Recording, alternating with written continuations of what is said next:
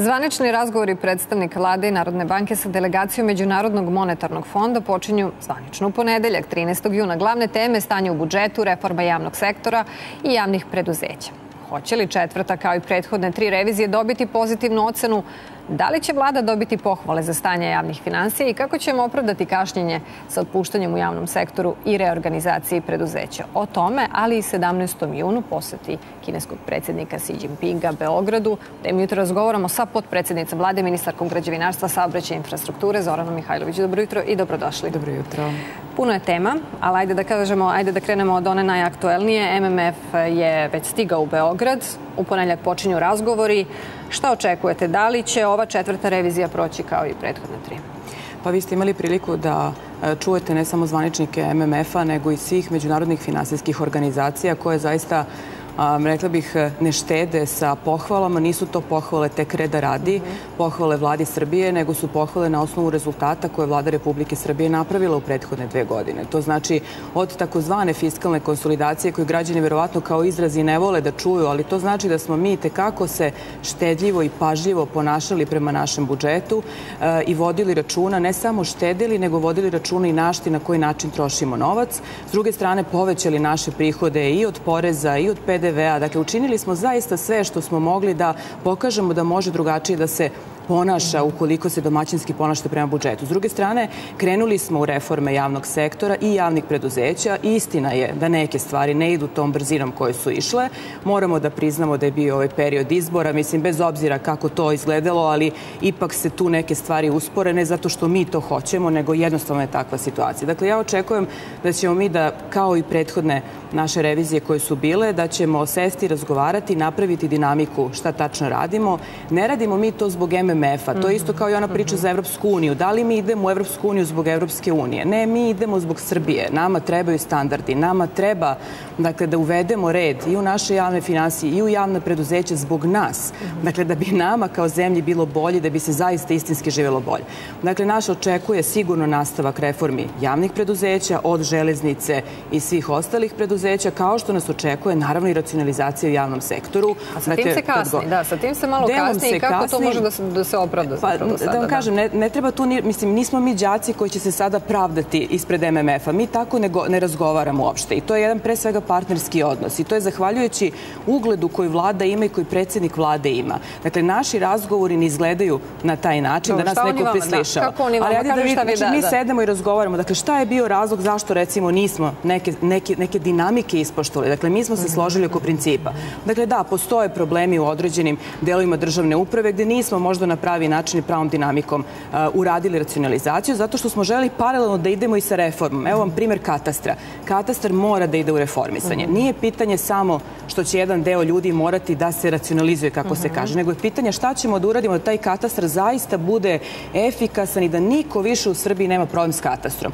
Tako da se sa njima dogovaramo, dakle, o kompletnoj reformi, što bi rekli, od početka do kraja, dakle, kad se uđe u neko preduzeće. I verujem da će to sve da bude uspešno i da će Srbija praktično u ovoj godini zaista imati onaj procenat privrednog rasta kako je naravno i MMF i Svetska banka, kako su rekli. Verujte, mi smo jedina zemlja u Evropi sa rastom. Dakle, pogledajte zemlje oko nas. Da, MMF je i promenio ovaj rast bruto domaćeg I MMF i Svetska da. banka, ne samo što su, pazite, oni su povećali uh, i dali su prognozu rasta, uh, dakle, veće većeg rasta, privrednog rasta u Srbiji, a s druge strane kad se govori o globalnom rastu, o rastu svetske e, privrede, mi imamo pad.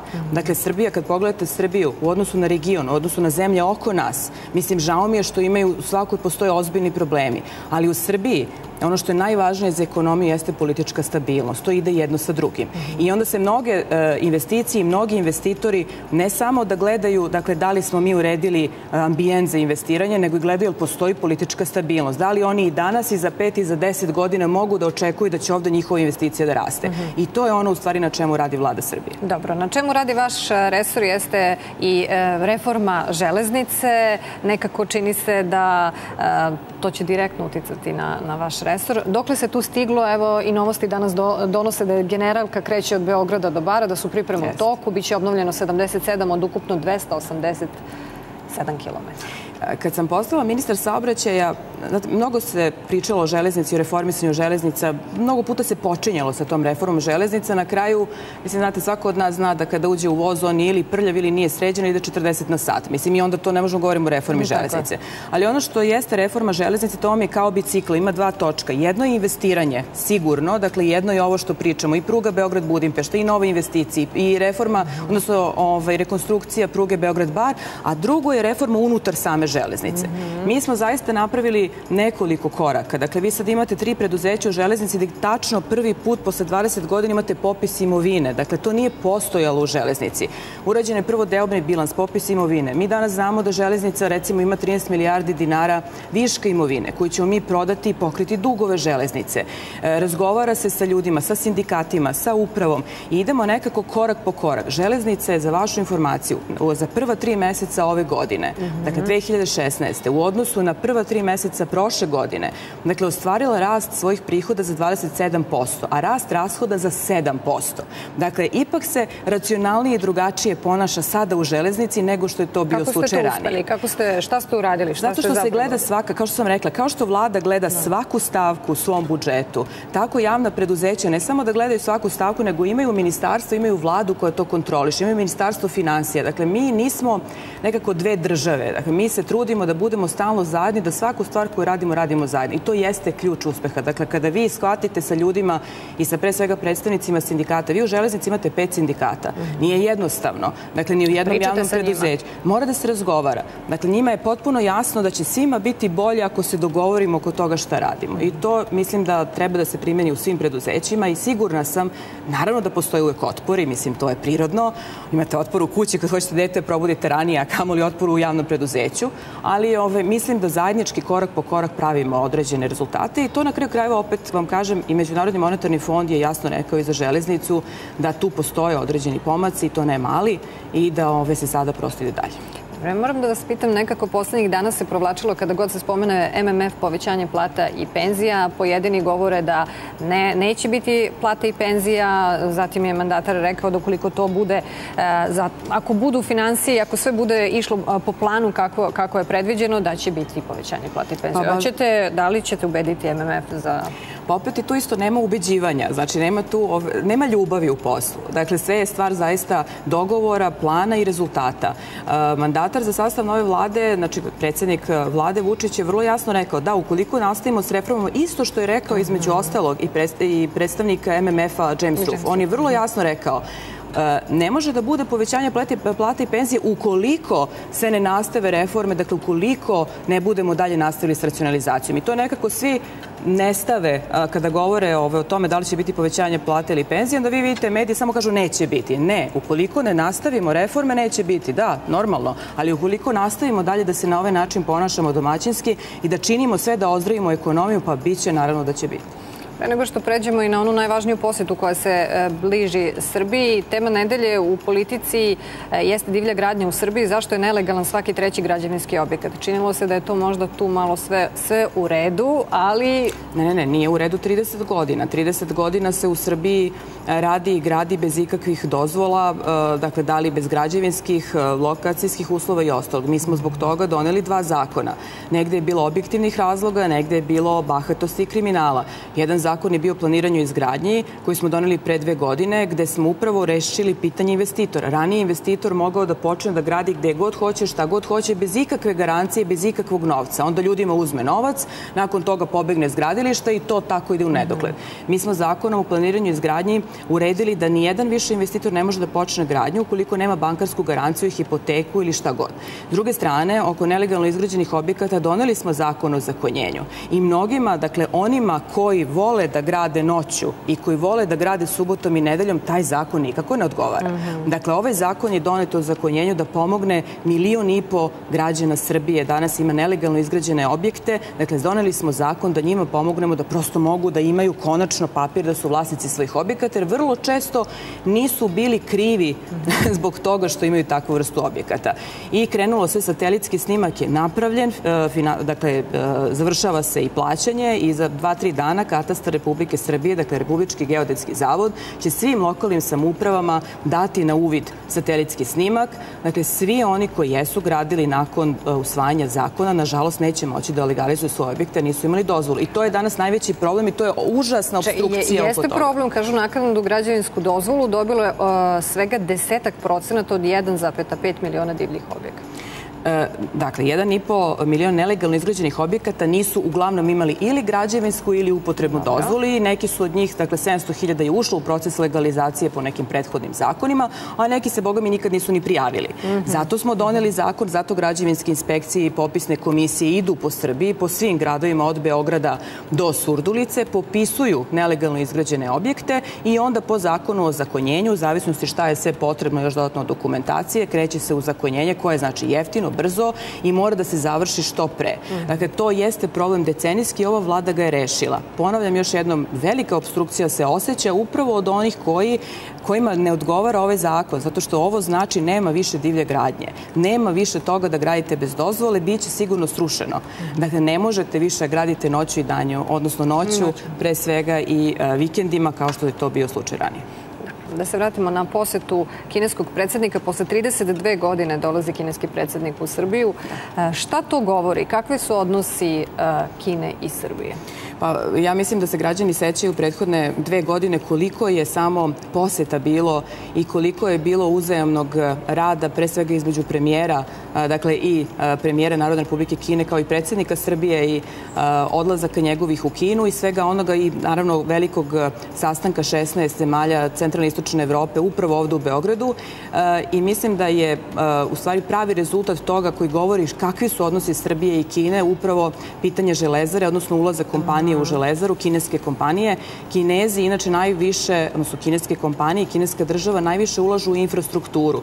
E, vrlo redko se pojavljuju i ulaze u određene kompanije, dakle sa svojim kapitalom. Mi smo jedina zemlja u ovom delu Evrope gde je kineska država odlučila i uložila svoj kapital. Dakle, to govori da imaju poverenja u našu zemlju i da su spremni dakle, da nastavi i prošire naše odnose. I mislim da je to velike, vrlo značajna poseta za nas. Mi ćemo maksimalno da iskoristimo tu posetu. Vi ćete potpisati e, konkretno vaš resor 16 ili 17 sporazuma? Svi zajedno, cijela vlada, dakle vlada Republike Srbije sad u zavisnosti da li privreda i financije, infrastruktura i tako dalje, ili kultura, e, blizu 20 sporazuma, protokola će biti potpisano. E, mogu da kažem gotovo sigurno da će biti potpisana izgradnja deonice Surčino-Brenovac. To je sad već onako gotovo pri samom kraju. Razgovarat ćemo dakle, o nastavku modernizacije pruge Beograd-Budimpešta. Vi znate koliko je to značajan projekat i za Kinu i za Mađarsku i za Srbiju uopšte za nas kao tranzitnu državu.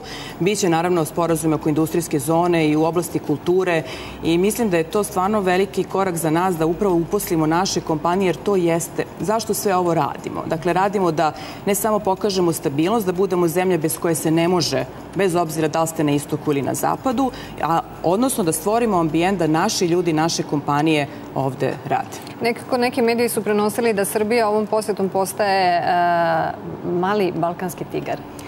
Pa e, ja mislim da jeste i to nije uopšte, ovaj, naprotiv, to, to lepo zvuči, ali to je ogroman rad koji stoji iza svake takve posete. Mi ćemo, kao što znate, već za 7-8 dana imati prvi direktan let isto i za Ameriku. E, mi razgovaramo i sa drugim svim partnerima oko ulaganja u neke druge kompanije. Znači, ova vlada zaista na delu pokazuje u stvari da može da se i živi bolje i da može da učini sve, dakle, da Srbija ide napred. Dobro. Um, moram da vas pitam, do, do dolaska predsednika Kine očekuje se formiranje vlade, sad još uvek nije sigurno da li će biti formirano do 16. juna. Um, da li ste razgovarali sa mandatarom s obzirom da je rekao da će imati konsultacije i sa predstavnicima svoje stranke? Videli smo da imao sa predstavnicima drugih stranaka. Da li se možda zna ko će biti koalicijni partner?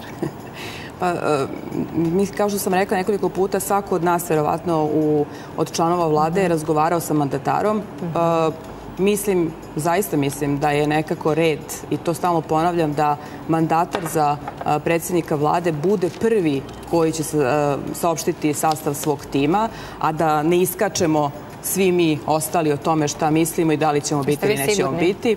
Da ćete pa, biti u Uopšte mislim da ćemo još razgovarati o svemu. Dakle, o sastavu ima tu puno još razgovora koji su pred nama. Kad god se vlada formira, važno je da će to da bude sigurno, kao što je bila i ova, jedna moderna i vredna vlada. Mislim, to je ono što Srbiji treba. Dakle, vlada koja brine o svojim građanima i koja je u stanju svaki dan svuda da se pojavi i da reši od najmanjeg problema ili da proba da reši od najmanjeg problema do najvećeg problema. I nekako čini se da ste poslednjih dana vi e, tema nekih pojedinih dnevnih novina u negativnom kontekstu. Zbog čega mislite da je to baš sada i zašto baš vi sada?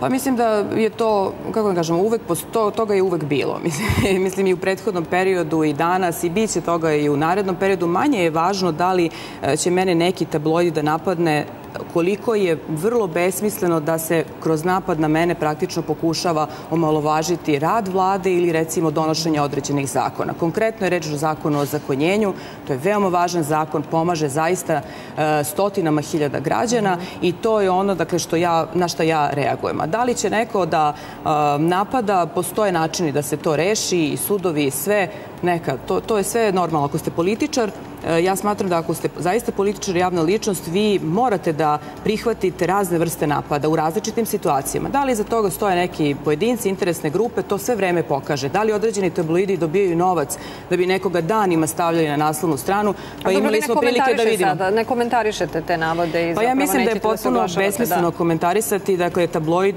koji je optuživao premijera da drži ljude u podrumu i tako dalje i sad ja da komentarišem taj tabloid koji danas priča o moralu i istini. Ja stvarno mislim da je to, da da to nije način da se o tome priča. Dakle, dokumentacija o bilo kome od nas, o bilo kom članu vlade postoji, sve, je, sve može da se proveri i pogleda, institucije postoje, a ovo što mi radimo, dakle i rezultate koje postižemo, ja mislim da na to ne sme da padne nikada ni jedna senka i za to ću uvek da se borim. Hvala vam puno što ste bili gosti jutarnjeg programa. Radovi na rekonstrukciji na dogradnji garaža Obiliće Venac, kojom će ono dobiti savremenu fasadu za treći